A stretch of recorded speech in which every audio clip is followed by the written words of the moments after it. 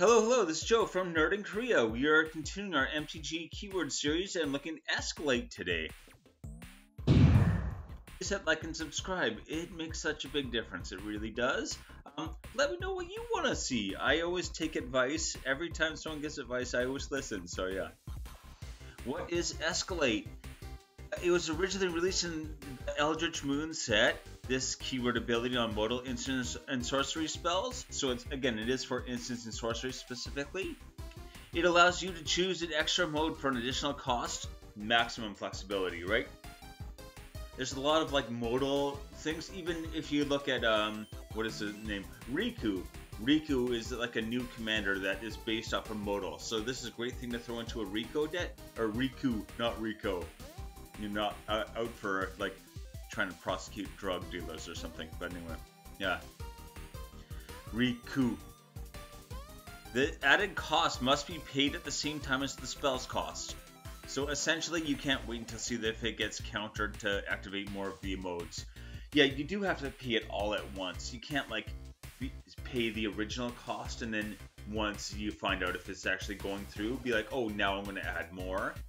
That, uh, yeah, if you're doing a bunch of extra ones, you gotta declare it right away, and it gives other people like all the information to decide whether I'm going to counter it or not. So yeah, that's something where I could see someone trying to like uh, be a little shady. Sound familiar? So this design was inspired by Entwine. Entwine also allows you to choose more than one mode, although it has two options, and choosing uh, paying the Entwine cost lets you choose both. So entwine is only is always two, I should say, and it only lets you do those two. Whereas um, this, yeah, escalate can have more than two options, and you can select between them. So yeah, it is really just an upgraded version of entwine. It's almost the same idea, but yeah, a little a little bit better. Also, the cheaper, I think, as well. Mana cost wise, escalate is often cheaper for the extra mode.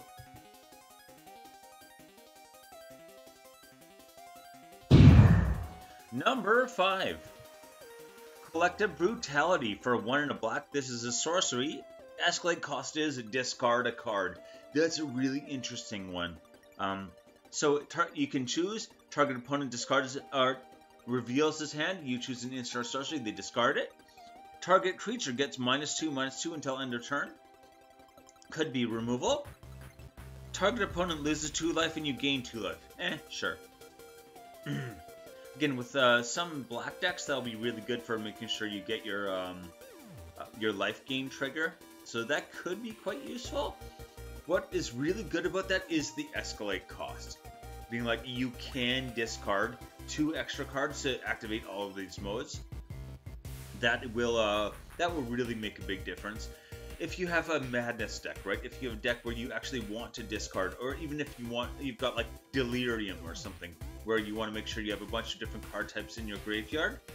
This lets you just like put whatever into your graveyard immediately, and it, having that option is kind of more powerful than some of the effects, I think. Anyway, 93 cents. Number four. Blessed Alliance. Okay, so this is one and a white for this instant as Escalate 2. A little pricey too. Uh, target player gains 4 life. This says, is target player. Untap up to 2 target creatures.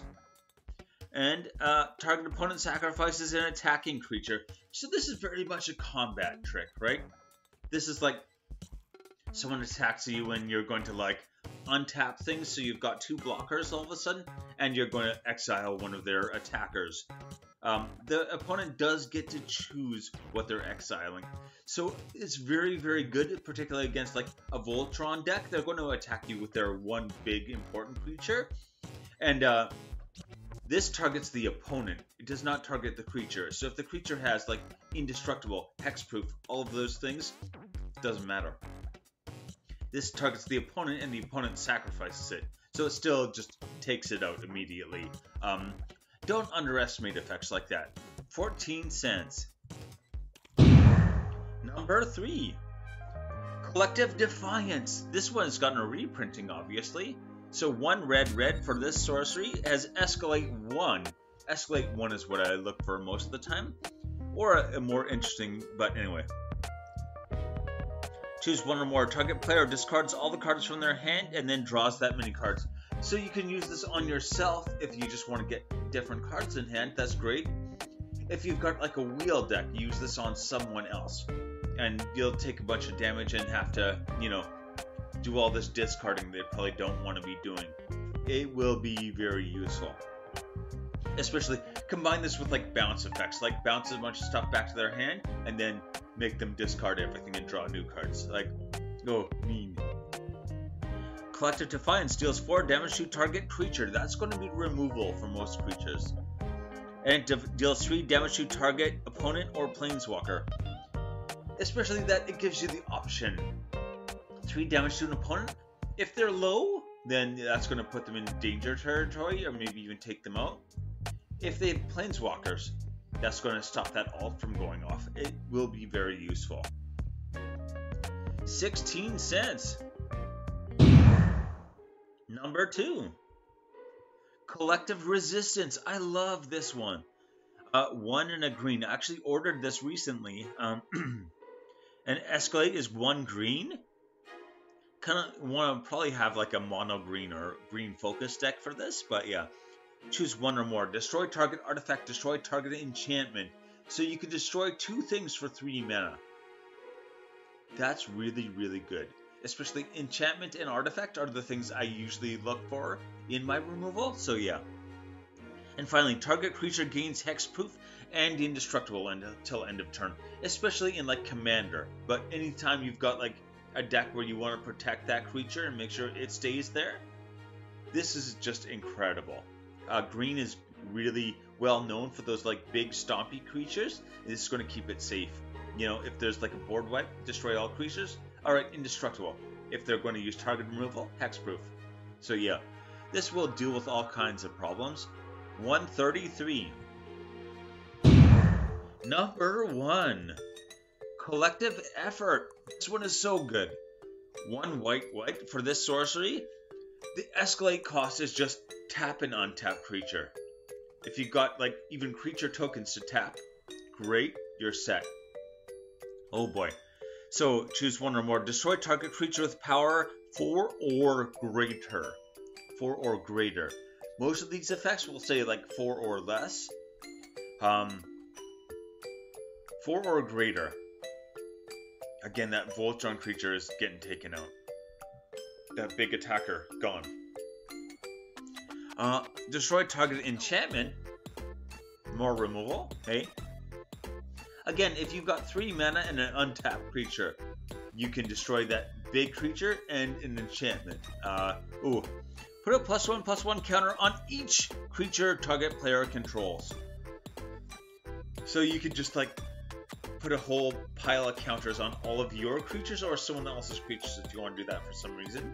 Um, again, you can do all three by paying three mana and tapping two even anything creatures, like one one token creatures.